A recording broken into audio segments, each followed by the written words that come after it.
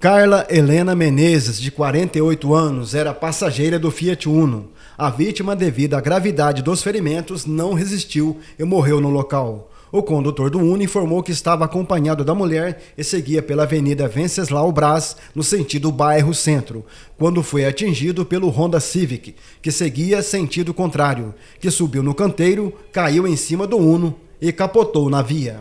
Segundo informações, o Uno ele deslocava sentido bairro centro e o Honda Civic do sentido centro-bairro. Aí por motivos ainda que serão apurados, né? É, o Honda Civic ele, ele veio para a pista contrária aqui, né?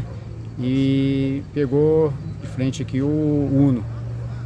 Isso tudo aí negócio será avaliado realmente pela perícia. Né? Os condutores dos dois veículos tiveram ferimentos leves e foram levados para a UPA de Poços. O condutor do Honda Civic relatou no local que foi fechado por um terceiro veículo, o que não permaneceu no local. É, o motorista do Honda Civic, ele falou que por alguns motivos que ainda serão apurados, né?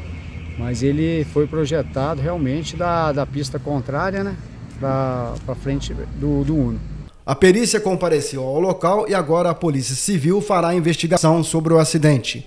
O corpo de Carla foi sepultado na tarde desta segunda-feira no cemitério da Saudade. Segundo informações dos próprios condutores, né, no Honda Civic é somente ele e no Uno seria o condutor, mas a vítima mas fatal. A vítima